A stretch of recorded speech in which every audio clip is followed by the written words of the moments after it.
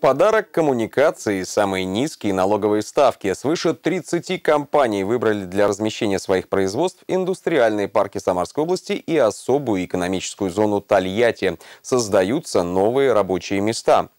С условиями, которые предлагаются резидентам, на этой неделе познакомились инвесторы из других регионов и представители Ассоциации индустриальных парков России.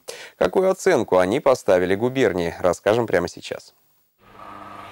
Наши предки верили, прошедший через ворота гость очищается от темных сил. Сегодня суеверия уступили место рациональному подходу. Каждый понимает, ворота — это в первую очередь защита. В Самарской области работает площадка крупнейшего отечественного производителя автоматических ворот. Секционные, раздвижные, подъемные, огнеупорные. Выпускаются модели как для защиты имущества граждан, так и предприятий. Производство открылось два года назад на территории индустриального парка Преображенко. Именно здесь инвестору предложили самые выгодные условия. Среди них наличие всех коммуникаций и удобное транспортное расположение. Если сравнивать уровень э, подготовки Самарской области этой площадки технопарка, он сравним с европейскими аналогами. Практически такую же территорию нам предложили и в Чехии. Именно вот э, здесь, в Самаре, все-таки очень хорошо правительство Самарской области и руководство технопарка провели достаточно серьезную работу.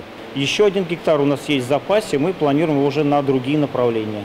То есть это, возможно, алюминиевые системы, двери. Сейчас на территории индустриального парка Преображенко работают 7 резидентов. В создание своих производств они вложили без малого 4,5 миллиарда рублей, создано более 300 рабочих мест. Свободно еще 20 гектаров, в ближайшем будущем территория расширится еще почти на 50.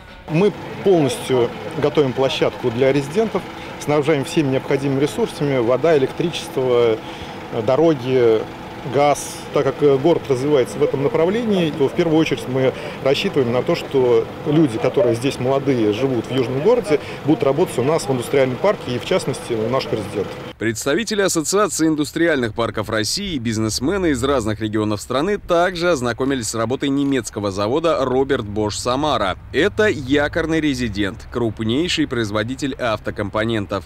Треть территории парка арендует предприятие «Самара Трансавто 2000», которое строит современные производственные складские помещения для бизнеса. Среди арендаторов компании с мировым именем. Уже запроектировано еще 150 тысяч квадратных метров.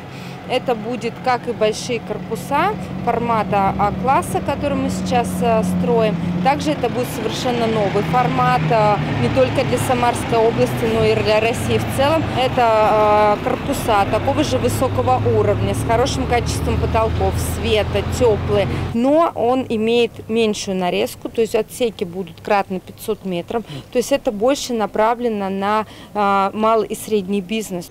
Делегация посетила и Ставропольский район, где расположена особая экономическая зона Тольятти. Сегодня здесь уже работают свыше 20 резидентов. Вместе с площадкой и бесплатным подключением коммуникации инвесторы получают солидные налоговые льготы. Как только проект окупится, начинает давать прибыль, ставка будет 2% вместо 20%. Инновации были внесены недавно по инициативе губернатора. Индустриальные парки и особая экономическая зона в Самарской области на самом деле довольно активно развиваются и даже на фоне э, Э, многих других регионов э, выглядит очень э, хорошо. Мы видим здесь огромное количество и работающих предприятий, и новых проектов тех компаний, которые только строятся. Это и производство автокомпонентов, и фармацевтика, и разные другие виды производств, в том числе довольно крупные объекты логистики.